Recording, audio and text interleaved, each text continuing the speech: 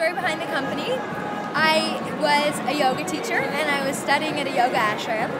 And at that ashram, everyone was making kombucha. I had never heard of it before. Started making it. It was amazing for my digestion. So I brought it up to Toronto and started to sell it. Want to have all the medicinal living enzymes and liver cleansing acids in it. So we don't artificially carbonate. We do it in really small batches. So it's an artisanal brew still, so high quality.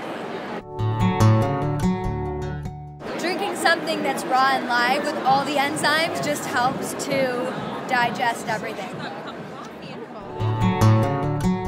So this is our new product. It is the coffee kombucha. And so here we brought together the world of coffee and kombucha for one supernatural infusion.